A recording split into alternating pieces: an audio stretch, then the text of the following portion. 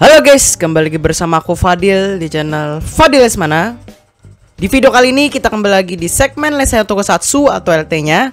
Di sini kita akan membahas seputar dunia Tokusatsu seperti Kamen Rider, Ultraman, dan Super Sentai-nya. Oke, kali ini kita akan membahas hot news Tokusatsu yang menggegerkan dan menggemparkan para Toku fans. Sebelum dimulai, jangan lupa subscribe, like, dan di-share juga ya. Langsung saja kita mulai. Yap, tadi malam baru saja kita digegerkan dan digemparkan adanya bocoran gambar ini. Apakah real atau fake? Jadi sebelum masuk ke bocoran tersebut, sudah ada info rumor bahwa Kamen Rider Gachard ini akan mendapatkan form baru yang katanya menggunakan naga pelangi atau yang kita ketahui ada Rainbow Dragon ya. Dan juga form baru legend yang katanya mirip-mirip dengan di Cat Complete 21 ya. Itemnya yang bisa ditempatkan di Legend Driver. Nah, ini biasanya kan rumor itu pasti banyak dan panjang gitu kan ya. Ini malah langsung bocor gambarnya ya ya. Dua jamnya gitu kan ya. Wow, GG banget sih ya. Jadi langsung saja di sini kita bahas ya. Oke, yang pertama di sini ada form baru Gachard yaitu Kamen Rider Rainbow Gachard ya. Yang katanya yang akan dipercaya sebagai final formnya si Gachard gitu kan ya. Final form sudah bocor ya sekarang ya. Cepet banget gitu kan ya. Biasanya kan final form like kayak gini ini ya antara di periode Mei atau enggak Juni lah ya. Di episode belasan Gachard aja baru muncul upgrade form si Cross UFO X dan juga X-Rex gitu kan ya. Belum juga ada super formnya ya satu dan dua jadi ini langsung dibocorkan final formnya gitu kan ya. Tapi di sini menurut aku Rainbow Gachard uh, ini antara real atau enggak fake gitu kan ya. Ya anggap saja di sini Grand of Salt dulu ya atau rumor aja lah ya gitu ya. Untuk first impression si Kamen Rider Gachard Rainbow ini ya mirip-mirip build Genius gitu kan ya. Untuk base bodinya ya seperti biasa biru gelap gitu kan ya Ya rata-rata gacat base bodinya itu biru ya. Mungkin sama seperti Steam Hopper ya base bodinya Tapi beda sedikit dari desain dan warnanya ya. Untuk kedua bahu dan kedua tangannya Jadi ada kayak strip-strip rainbow warna-warni gitu ya. Sesuai namanya juga yaitu rainbow gachard Dan juga untuk bagian kepala serta visornya itu Warna biru dan malam ya. Untuk aksen dua panahnya itu ada perubahan tapi cukup panjang dan besar tuh ya. Jadi situ ada dua panahnya. Sama juga warnanya warna-warni pelangi atau rainbow gitu ya. Ya oke okay lah ya menurut aku cukup bagus dari awalnya si saja si Gachard aksen dua panahnya itu aja sudah keren dan unik gitu kan ya.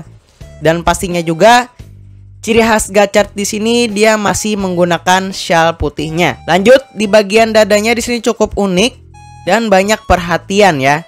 Biasanya gacart ya ada tungku-tungku apinya gitu ya karena si steamliner gitu kan ya. Terkecuali si Cross UFO X dan X-Rex ini. Itu memang ada tapi ketutup si armornya gitu kan ya. Untuk di dadanya ini ada bulatan rainbow dan ada juga logo segitiga gitu kan ya. Wow, apa tuh ya? Logo Toei kah ya? Yang nggak tahu gitu kan ya. Ya kemungkinan itu adalah logonya sih dari Akademi Alchemist ya. Jadi kan logo Al Akademi Alchemist ini kan setengah segitiga kayak gitu ya hampir segitiga gitu. Jadi untuk bagian bawah dari pinggang ke kakinya itu ya masih belum terlalu jelas gitu kan ya di sini. Tapi kemungkinan antara dia pakai celana besar seperti Gundam gitu ya sama kayak seperti Gold Mechanica atau si uh, Raidenji itu juga ya. Yang nggak tahu nah ya. Jadi apakah dia bakal polos gitu aja atau nanti seperti si Gundam gitu kan ya. Nanti kita lihat fullnya kayak apa gitu kan ya. Untuk beltnya di sini lagi-lagi ya item baru yang bisa dirubah menjadi attachment ya dan dicolok di gacha driver. Sehingga tampilannya seperti belt baru. Ya penerapan kayak gini sudah dari uh, sejak dari kamera Gits yang di mana race bakal bisa jadi seperti belt baru gitu kan ya. Dan si gacha X gacha libur bisa dicolok ke gacha driver ya menjadi X gacha driver ya.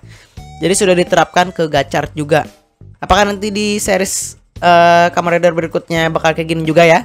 Ya kemungkinan pasti sih ya. Jadi untuk item yang akan digunakan Rainbow Gachard ini Sepertinya dia bakal menggunakan naga yang warnanya itu didominasi biru dan oranye. Dan naganya itu bisa dilipat jadi rata gitu dan dimasukkan ke gacha driver ya atau dicolok dan nutupin si displaynya si gacha driver. Jadi konektor itemnya ini pastinya di atas gacha driver tersebut sama seperti X gacha libur ya. Sepertinya juga keunikan di atas gacha driver ini bisa dicolok attachment lainnya juga ya ya mungkin dari super form atau form form lain atau rider rider lain yang nggak tahu gitu kan mungkin pasti bisa gitu kan ya jadi kita tunggu saja ya item super formnya nanti apa gitu kan ya. Katanya juga ya rumornya super form ini akan menggunakan ten liner yang kebuka dan bisa ditancapkan ke belt juga gitu kan ya. Jadi menurut leak di sini final form rainbow gachar ini dapat diakses dapat bantuan oleh Kemi ke 101 gitu kan ya. Kemi terakhir yang akan didapatkan Ichinose ya merupakan Kemi yang spesial. Kita masih belum tahu apakah nanti Kemi 101 ini mendapatkan unsur Kemi ke 101 itu atau cuman Kemi 101 itu doang ya. Nanti kita uh, tunggu saja gitu kan gimana konsepnya nanti ya. Sesuai dengan rumornya juga ya Rainbow Dragon atau naga pelangi gitu kan ya. Jadi naga ini dipercaya katanya uh, bernama Nijigon Chemi gitu kan ya. Ya, jadi Chemi uh, eh, 101 tadi ya, Nijigon ya. Ya cocok aja sih ya karena Niji itu adalah pelangi atau rainbow dan Gon itu adalah dragon atau naga gitu kan ya. Makanya itemnya tadi berupa naga imut-imut gitu gitu kan ya dan bisa diubah ke attachment ya. Terlihat juga selain Nijigon Chemi tadi dapat diubah ke attachment sini Ichinose akan menggunakan dua Raido Kemi Card spesial baru gitu kan ya. Jadi dua Raido Kemi Card ini kalau disandingkan gitu bakal nyambung gambarnya ya. Ya sepertinya itu gambar naga atau si Nijigon Keminya tadi ya yang kebuka mungkin lah ya. Belum terlalu jelas juga di situ ya. Terlihat di situ barnya rainbow dan saling berhadapan ya. Ya tadi ya bisa disandingkan gitu.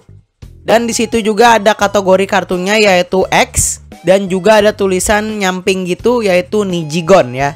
Di gambar leg rainbow gachar ini juga ada tulisan angka 6 ya.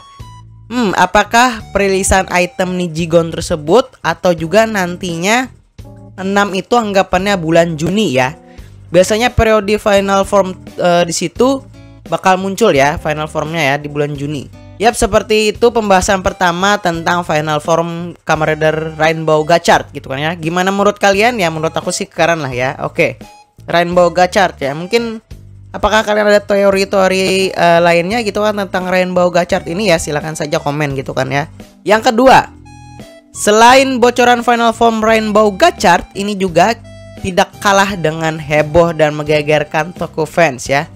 Di mana Legend akan mendapatkan power up ya, yaitu Kamen Rider Gorgeous Legend.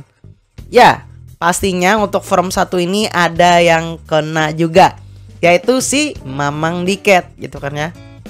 Katanya juga sudah beberapa bulan yang lalu ada yang mengatakan rumor tentang uh, Gorgeous Legend ini yang di mana katanya Legend ini lebih jelek dari Diket 21 Ya tapi yang dimaksud bukan legend ya Tapi kemungkinan si Gorgeous Legend ini. Ya menurut aku sih ya Lebih kerenan Gorgeous Legend ini ya Daripada di Cat 21 ya Karena sudah terkonsep gitu kan ya Untuk Gorgeous Legend ini konsepnya sama seperti di Cat Complete 21 atau Complete biasa ya Yang di mana kartunya tuh nemplok-nemplok di mana-mana gitu kan ya Kalau kita lihat armor pundaknya si Gorgeous Legend ini seperti melebar ya dari legend biasanya ya, beda ya. Untuk warnanya di sini tetap emas dan hitam ya membuat uh, keren dan gorgeous juga ya. Yang paling menarik di sini armornya melingkarnya ya. Dan di situ ditempelkan banyak kartu yang nemplok-nemplok itu semua Legend Rider Raido Kemi Card ya. Dari Kuga sampai si Gachar. Dan di tengahnya juga ada legend juga ya, kartu legend uh, Raido Kemi Cardnya.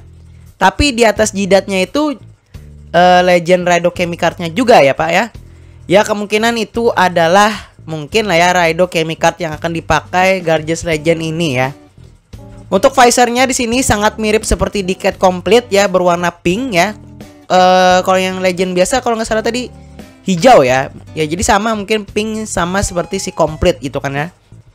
Sepertinya konsep yang melingkar ini sepertinya anggapannya ya singa lah ya. Kan rambutnya itu kan melingkar gitu ya sampai di lehernya. Nah, sama seperti si Gorgeous Legend ini.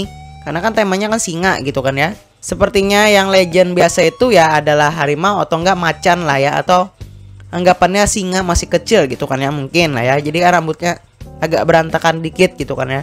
Jadi eh, nggak uh, kalah keren juga ya dari formnya gitu kan ya. Untuk itemnya di sini juga unik. Kita bahas di sini ya. Item power up-nya berupa pistol. Tapi kalau kita lihat di sini pistolnya itu multifungsi ya. Bisa jadi pistol dan juga menjadi attachment yang bisa dicolok di base legend drivernya ya.